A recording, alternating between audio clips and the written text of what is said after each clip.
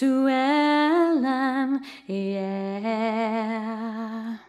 One happy birthday dot com.